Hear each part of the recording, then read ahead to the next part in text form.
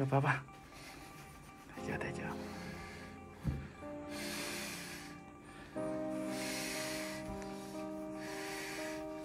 taksi yang seru-seru kulit aja aja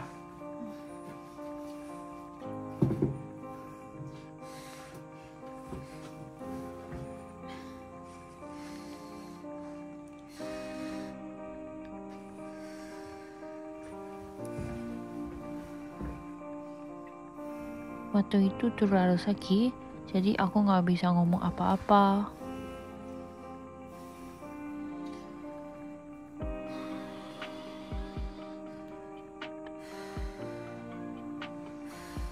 バトイトス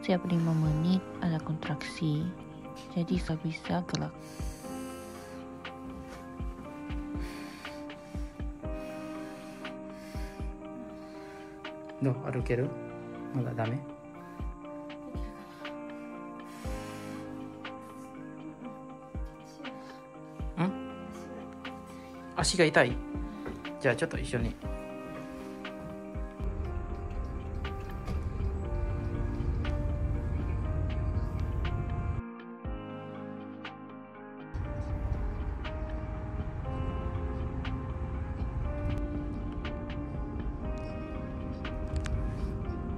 大丈夫。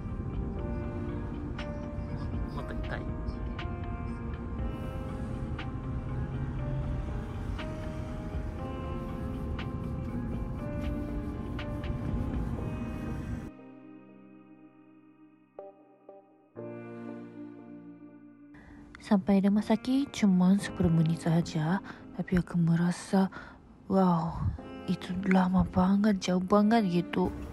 Waktu itu aku merasa mau pup begitu.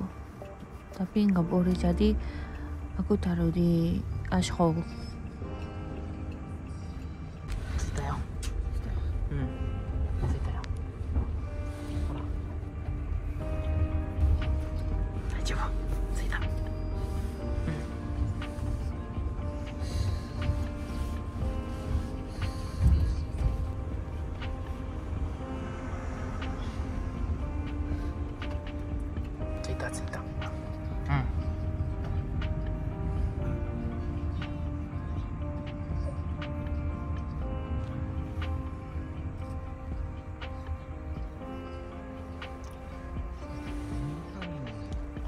この辺りで大丈夫ですよ。あそこで歩いてきますあ、ははい。い、はい、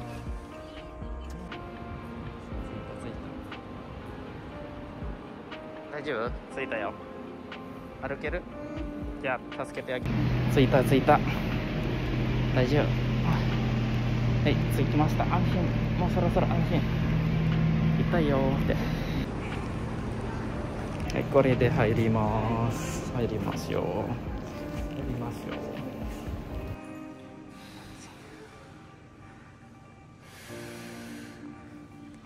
大丈夫もう少し着くよ頑張れ頑張れ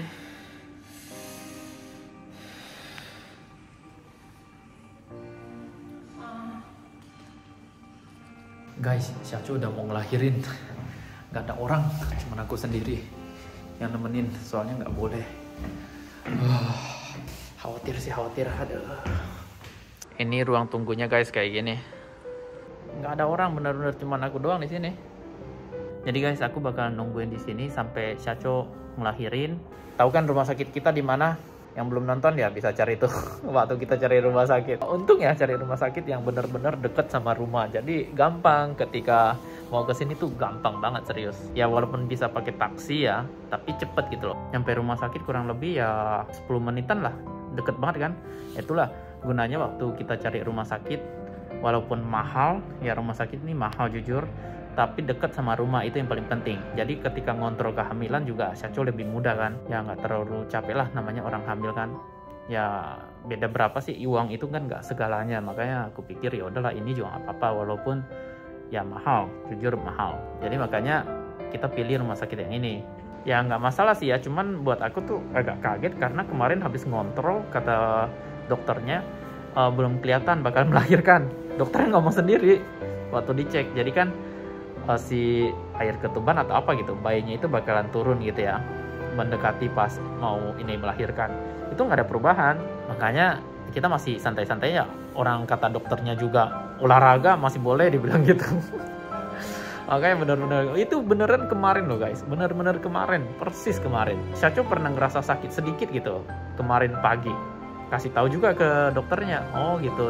Emang kalau orang hamil mendekati mau melahirkan ada rasa sakit seperti itu. Yaudah makanya kita bukan cuek ya tapi kata dokternya mau olahraga ringan masih boleh dibilang bener-bener di luar dugaan. Pas tadi aku tanya ke dokternya lagi dia bilang sih ini bukan sesuatu yang aneh gitu.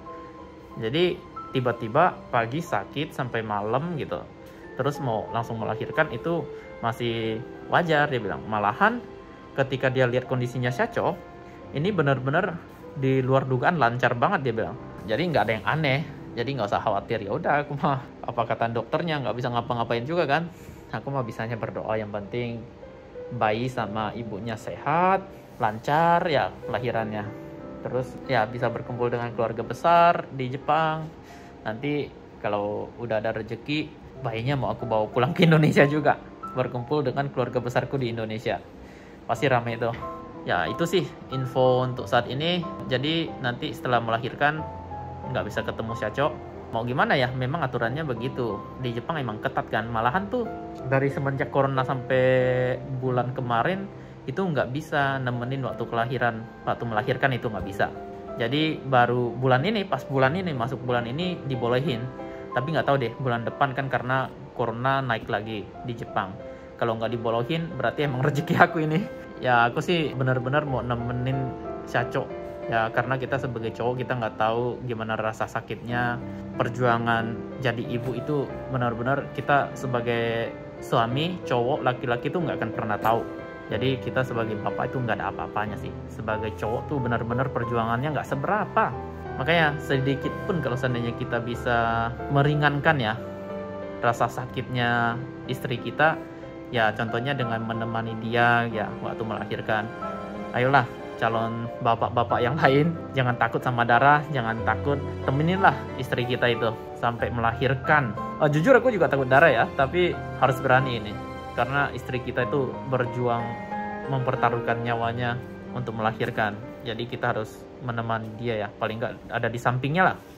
Itu penting banget. Begitulah guys. Nggak tahu nunggu sampai jam berapa. Oh kayaknya dokternya datang nih. Bakal dipanggil nggak nih? Kalau dipanggil berarti udah mau ngelahirin